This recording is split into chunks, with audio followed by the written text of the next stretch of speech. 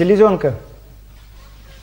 Жизнерадостность или радость дает нормальную работу селезенки. А озабоченность и неумиротворенность дает воспалительные процессы в селезенке.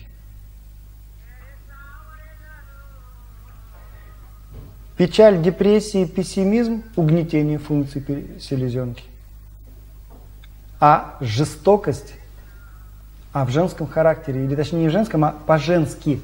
Я забыл вам сказать, каждое качество может быть проявлено по-мужски еще и по-женски, помимо всего прочего. И жестокость по-женски проявляется как холодность. Снежная королева. Она дает анемию.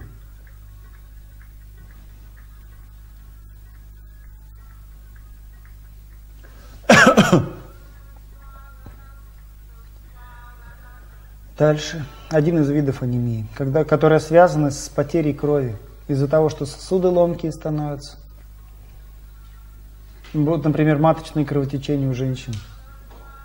Они связаны с жестокостью в характере. Но она может не проявляться как жестокость. Женщина там, не знаю, со скалкой не гоняется, там, со сковородкой за мужем.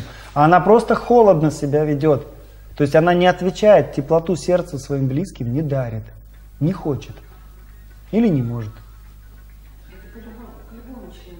К любому.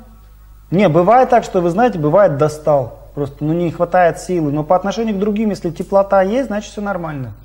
Мы просто бывает так, что настолько тяжелые отношения, что ну сложно проявлять. Но по крайней мере уважение нужно всегда проявлять. Уважать человека, то есть принимать таким, какой есть. Бывают просто люди очень непохожие. Поэтому сложно глубину в отношениях найти. Но это не значит, что мы уважать не можем. Уважать мы должны всех, без исключения. Особенно близких людей нам. Ведь нас что-то ведь привлекло друг к другу, значит уважение должно быть.